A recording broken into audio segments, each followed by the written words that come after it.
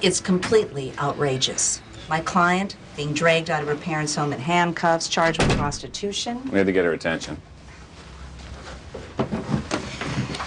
First of all, she's not a prostitute. She's in love with Chip Jarrell. Oh, she in love with Kristen Halstead, too?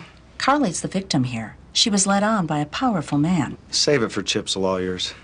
Fine. Carly, tell him what you know. Her lawyer's not going to screw up the chance for hush money from Chip.